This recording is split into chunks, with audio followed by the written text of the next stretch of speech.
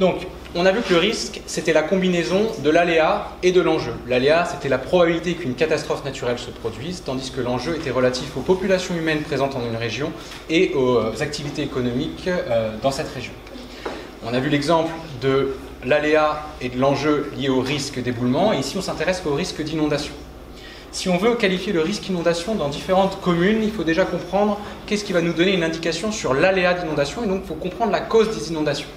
Dans ce document, on nous indique que les inondations ont souvent lieu lors de phénomènes de pluie intense. Une pluie intense, on nous précise qu'il s'agit d'une journée pendant laquelle il est tombé plus de 100 mm d'eau en une journée, ce qui est quand même un événement très rare et très marquant, puisque 100 mm d'eau de pluie en une journée, c'est énorme. Dans ce tableau, on nous donne des caractéristiques pour différentes villes.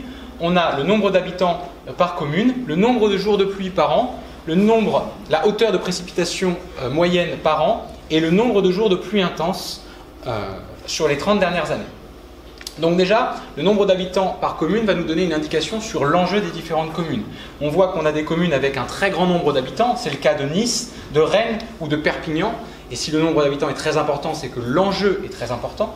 Et donc maintenant, parmi ces trois colonnes, il faut qu'on se pose la question, quelle est la colonne qui nous donne l'information sur l'aléa inondation?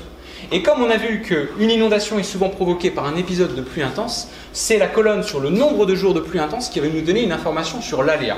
Et on voit que sur les 30 dernières années, dans la région des Alpes-Maritimes, on a eu 107 jours de pluie intense en 30 ans. Tandis qu'en Bretagne, seulement 3 jours de pluie intense ont, été enregistrés en, en 30 ans.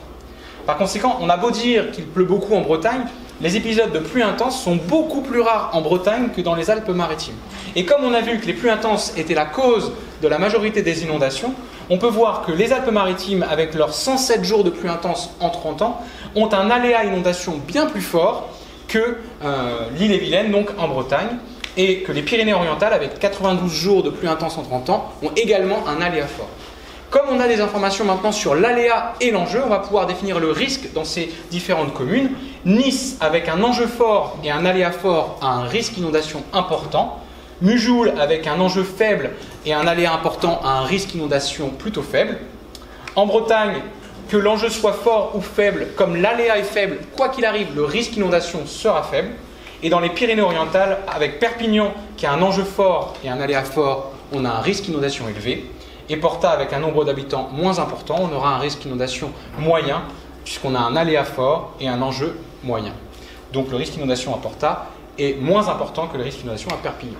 Voilà pour le risque d'inondation.